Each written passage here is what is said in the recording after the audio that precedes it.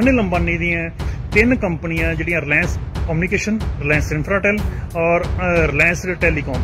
ਇਹ ਤਿੰਨਾਂ ਕੰਪਨੀਆਂ ਨੇ State Bank of India, Union Bank of India ਔਰ ਇੰਡੀਅਨ ਓਵਰਸੀਜ਼ ਬੈਂਕ ਦਾ 86188 ਕਰੋੜ ਜਿਹੜਾ ਬੈਂਕਾਂ ਦਾ ਡਿਊ ਹੈ, ਉਹਨੂੰ ਬੈਂਕਾਂ ਨੇ ਇਹਦੀ ਕੈਟਾਗਰੀ ਕਲਾਸੀਫਿਕੇਸ਼ਨ ਚੇਂਜ ਕਰਕੇ ਫਰਾਡ ਦੀ ਕੈਟਾਗਰੀ 'ਚ ਪਾ ਦਿੱਤਾ। ਜਿਸ ਨੇ 86000 ਕਰੋੜ ਬੈਂਕਾਂ ਦਾ ਦੇਣਾ ਹੈ 5500 ਕਰੋੜ ਦਾ ਫਰਾਡ ਕੀਤਾ ਹੈ ਔਰ ਉਹਨੂੰ ਅਸੀਂ ਰਫਾਇਲ ਡੀਲ ਦੀ ਜਿਹੜੀ ਆ ਮੇਨਟੇਨੈਂਸ ਦਾ ਕੰਟਰੈਕਟ ਉਸ ਕੰਪਨੀ ਦਿੱਤਾ ਹੈ। ਕੌਣ ਜ਼ਿੰਮੇਵਾਰ ਹੈ ਇਸ ਦਾ?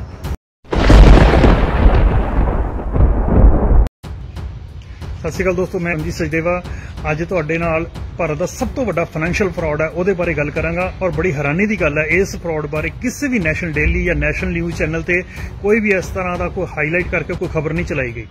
ਸਿਰਫ ਇਕਨੋਮਿਕ ਟਾਈਮਜ਼ ਦੇ ਇੱਕ ਛੋਟੀ ਜੀ ਖਬਰ ਲੱਗੀ ਹੈ, ਜਿਹਦੇ ਵਿੱਚ ਦੱਸਿਆ ਗਿਆ ਕਿ ਅਨਿਲ ਅੰਬਾਨੀ ਦੀਆਂ ਤਿੰਨ ਕੰਪਨੀਆਂ ਜਿਹੜੀਆਂ ਰਿਲਾਇੰਸ ਕਮਿਊਨੀਕੇਸ਼ਨ ਰਿਲਾਇੰਸ ਇਨਫਰਾਟੈਲ ਔਰ ਰਿਲਾਇੰਸ ਟੈਲੀਕਾਮ ਇਹ ਤਿੰਨਾਂ ਕੰਪਨੀਆਂ ਨੇ State Bank of India Union Bank of India ਔਰ ਇੰਡੀਅਨ ਓਵਰਸੀਜ਼ ਬੈਂਕ ਦਾ 86188 ਕਰੋੜ ਜਿਹੜਾ ਬੈਂਕਾਂ ਦਾ ਡਿਊ ਹੈ, ਉਹਨੂੰ ਬੈਂਕਾਂ ਨੇ ਇਹਦੀ ਕੈਟਾਗਰੀ ਕਲਾਸੀਫਿਕੇਸ਼ਨ ਚੇਂਜ ਕਰਕੇ ਫਰਾਡ ਦੀ ਕੈਟਾਗਰੀ 'ਚ ਪਾ ਦਿੱਤਾ।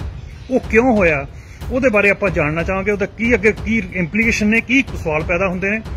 ਇਹਦੇ ਬਾਰੇ ਆਪਾਂ ਗੱਲ ਕਰਾਂਗੇ। ਸਭ ਤੋਂ ਪਹਿਲਾਂ ਇਹ ਪਤਾ ਕਿੱਦਾਂ ਲੱਗਾ? ਇਹ ਪਤਾ ਲੱਗਾ ਜਦੋਂ ਇਹਦੀ ਰੀਸਟਰਕਚਰਿੰਗ ਵਾਸਤੇ ਨੈਸ਼ਨਲ ਕੰਪਨੀ ਲਾ ਟ੍ਰਿਬਿਊਨਲ ਨੂੰ ਜਦੋਂ ਬੈਂਕਾਂ ਨੇ ਰੈਫਰ ਕੀਤਾ ਇਹਦੀ ਰੀਸਟਰਕਚਰਿੰਗ ਲਈ ਕੰਪਨੀ ਦੀ, ਤਾਂ ਜਿਹੜਾ ਨਵਾਂ ਬਾਇਰ ਸੀ, ਉਹਨੇ ਸਰਟੀਫਿਕੇਟ ਮੰਗਿਆ ਵੀ ਜੇ ਕੰਪਨੀ ਕੋ ਪਾਸਟ ਵਿੱਚ ਕੋਈ ਫਰਾਡ ਕੀਤਾ ਤਾਂ ਮੈਂ ਉਹਦਾ ਜ਼ਿੰਮੇਵਾਰ ਨਹੀਂ ਹੈ। ਉਹਦਾ ਮੈਨੂੰ ਸਰਟੀਫਿਕੇਟ ਦਿੱਤਾ ਜਾਏ।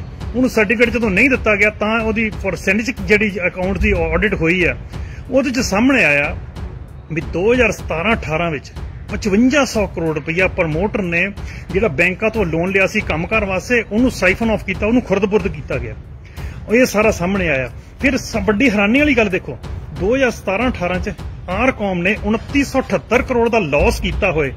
ਔਰ ਬਜਾਏ ਇਸ ਦੇ ਕਿ ਉਸ ਤੋਂ ਰਿਕਵਰ ਕਰਨ ਦੇ, ਅਗਲੇ ਸਾਲ ਉਹਨੂੰ 13313 ਕਰੋੜ ਦਾ ਹੋਰ ਫਰਦਰ ਲੋਨ ਦਿੱਤਾ ਗਿਆ।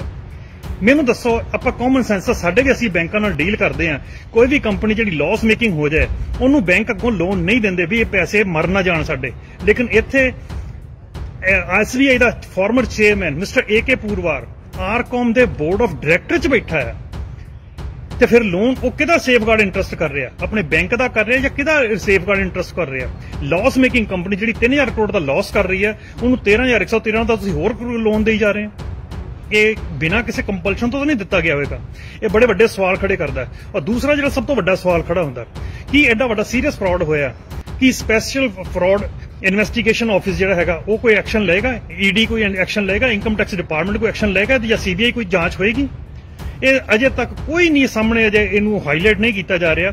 ਔਰ ਸਭ ਤੋਂ ਵੱਡੀ ਗੱਲ ਹੋਰ, ਸਾਡੇ ਦੇਸ਼ ਦੇ ਡਿਫੈਂਸਰ ਰਫਾਇਲ ਡੀਲ ਉਸ ਕੰਪਨੀ ਕੋਲ ਹੈ, ਜਿਸ ਕੰਪਨੀ ਦੀ ਪ੍ਰਮੋਟਰ ਜਿਹੜਾ ਕਹਿੰਦਾ ਵੀ ਮੇਰੀ ਨੈਟਵਰਥ ਜ਼ੀਰੋ ਹੈ। ਜਿਸ ਨੇ 86000 ਕਰੋੜ ਬੈਂਕਾਂ ਦਾ ਦੇਣਾ ਹੈ 5500 ਕਰੋੜ ਦਾ ਫਰਾਡ ਕੀਤਾ ਹੈ ਔਰ ਉਹਨੂੰ ਅਸੀਂ ਰਫਾਇਲ ਡੀਲ ਦੀ ਜਿਹੜੀ ਆ ਮੇਨਟੇਨੈਂਸ ਦਾ ਕੰਟਰੈਕਟ ਉਸ ਕੰਪਨੀ ਦਿੱਤਾ ਹੈ, ਕੌਣ ਜ਼ਿੰਮੇਵਾਰ ਹੈ ਇਸ ਦਾ? ਜਵਾਬ ਤੁਸੀਂ ਦੇਣਾ, ਜੇ ਤੁਹਾਨੂੰ ਵੀਡੀਓ ਠੀਕ ਲੱਗੀ ਹੈ ਤਾਂ ਇਹਨੂੰ ਜਰੂਰ ਸ਼ੇਅਰ ਕਰਨਾ। ਬਹੁਤ ਬਹੁਤ ਸ਼ੁਕਰੀਆ ਥੈਂਕ ਯੂ ਸਿੱਖ ਧਰਮ ਦੀ ਹਰ ਗਤੀਵਿਧੀ ਅਤੇ ਗੁਰਬਾਣੀ ਵਾਸਤੇ ਹੁਣੇ ਸਬਸਕ੍ਰਾਈਬ ਕਰੋ ਗੁਰਬਾਣੀ, ਅਖੰਡ ਬਾਣੀ ਅਤੇ ਨੋਟੀਫਿਕੇਸ਼ਨਸ ਵਾਸਤੇ ਬੈਲ ਨੂੰ ਰਿੰਗ ਕਰੋ।